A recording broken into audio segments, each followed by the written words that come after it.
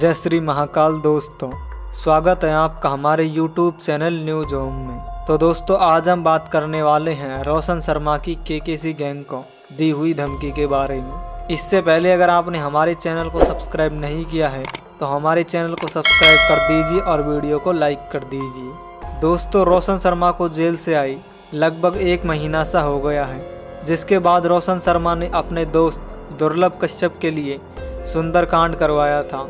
और दुर्लभ गैंग के सारे सदस्यों को इकट्ठा किया, जिसके बाद रोशन शर्मा ने अपना बर्थडे भी मनाया था।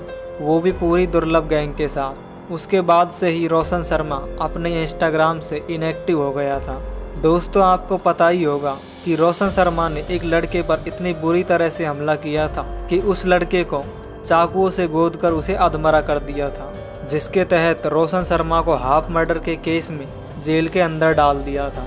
इस प्रकार रोशन शर्मा ने उज्जैन में इतने बड़े बड़े अपराध किए हैं और अभी रोशन शर्मा ने के सी गैंग को धमकी देते हुए स्टोरी शेयर की है। दोस्तों, स्टोरी में लिखा है, कहीं नहीं गए हम, यहीं हैं, बस थोड़ा ठंड रख, हिसाब सबको बताएँगे। इससे अगली स्टोरी में लिखा है बोला नहीं हूँ मैं, बेटा सब याद है, तुम देखते रह जाओगे और हम वारदात करके निकल जाएँगे।